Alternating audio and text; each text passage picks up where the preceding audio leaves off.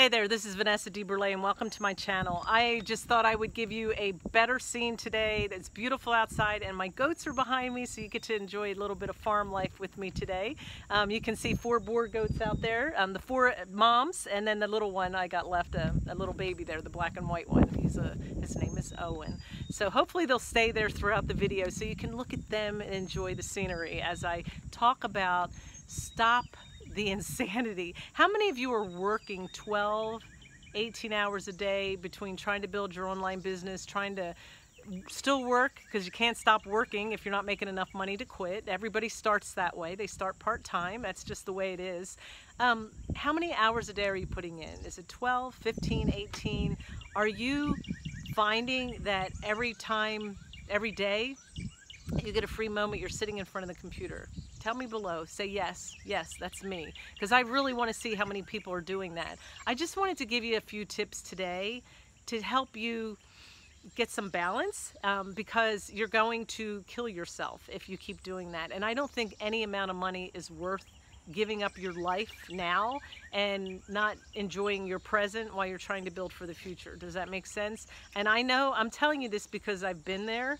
I just kept on, you know, every day I was sitting in front of the computer, sitting in front of the computer. And, and I think in my mind, I was thinking the longer I sit here and the more I do, the faster that I'm going to get that um, opportunity to quit my job and do this full time and be able to make enough money. And I, while I, I know that day will be here, I haven't quit my job yet. I still work full time. Um, I have decided that I'm still going to live my life and be present in the life that I have. So I have, I sat down and I just really made a schedule for when I work my full-time job. I'm blessed, I get to work from home for that. But then on the outskirts of that, when I work my business, I put in X amount of hours and I've picked very um, strategic times. I was very intentional about when I'm going to work so that I'm not ignoring my family and I'm not, I didn't stop cleaning my house. I didn't stop doing everything that I do, I'm supposed to be doing to live. I have seen people get on here with videos um, where they have shared that they literally just stopped cleaning the house and stopped taking care of the kids and it was just insane. I'm just using that, that's why that's in the title, but it just became insane that they were so driven to be successful. And that's great if in the end they were making a million dollars within a year, but is it worth it? Um, don't give up your now for your future is what I'm telling you. Um, if it takes you six years to financially be able to quit your job and do your online job full time and you were able to be present for your family, then I highly recommend you do that. Um, is it really worth it? If you lose a couple years with everybody and then do it then, and then you're going to be burnt out. So I can't stress enough how you need to, to stop and make sure that you're scheduling your workload so that it makes sense and that you're not giving up that time. Um, other things that I, I think that people don't think about when you're building a business and you're, you're making sure your lifestyle business is in order and you have those goals, don't forget about your healthy lifestyle. Don't forget about your family and, and, your, and things like that. So in another video, I talked about having grit and making goals.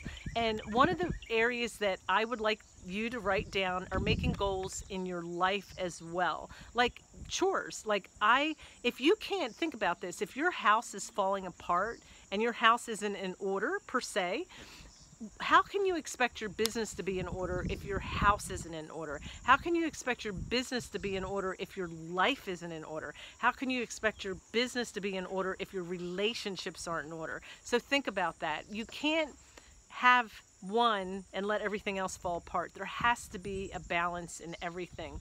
And I know Dani Johnson talks about that a lot, um, about she that's when her business turned around, when she started putting her house in order. She said, I was working so hard that and putting in so many hours that my entire family and my house was falling apart. She said my husband and I were even on the verge, we were just like fighting all the time.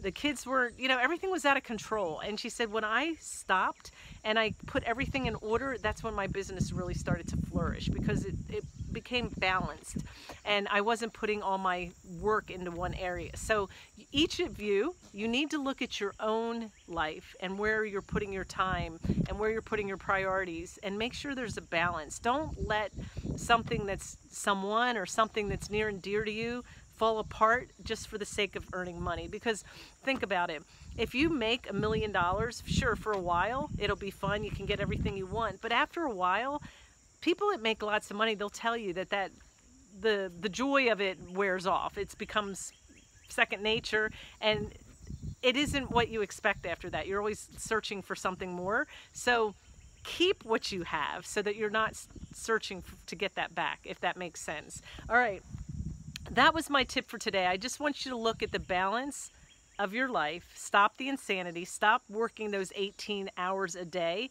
because all it's going to do is burn you out and it's going to cost you your health. It might cost you your relationships. It might your house might fall apart in, in, in disarray because you're not taking care of it. Um, be intentional. Um, in that other video, I talked about grit and, and I stands for be intentional. Be intentional about all of those things when you make your goals so that you can have balance in your life and as you when when that day comes and you can quit your job you're going to do it with joy and you're not going to sit there and say gosh i'm i'm so burnt out i can't even enjoy this and and and it doesn't mean anything. So really sit down and map out everything in your life or everything in your week and just leave that time for rest and for relationships and you know for taking care of business uh, taking care of your finances. Make sure everything is balanced. And you might say, but there's too much. There's you have 24 hours just like the rest of us. We all have it.